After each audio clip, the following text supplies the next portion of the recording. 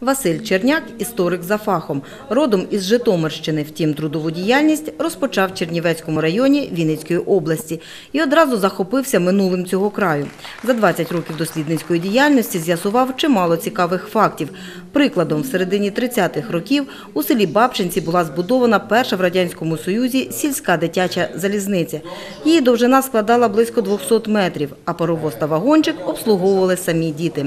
Аби поділитися знахідками, зініціював проведення наукової конференції. Ідею в районі підтримали. Я вхопився за цю ідею. Справді, от е, ще, мабуть, з рік назад ми передбачили зміни у стратегії Чернівецького району, прописали проведення такої конференції. Чернівецька конференція зібрала однодумців з різних куточків України. Географія велика від Івано-Франківщини до Слов'янська Донецької області.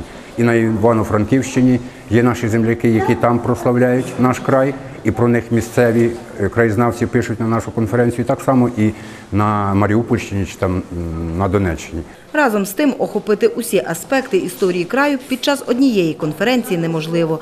Тож ініціатори заходу планують вже наступного року провести чергову. Архіви Хмельницького, Києва, Вінниці, Житомира зберігають масу матеріалів з історії і Поділля, і нашого краю також. Тетяна Войнаровська, Андрій Кравченко, телевізійні новини Вінничини.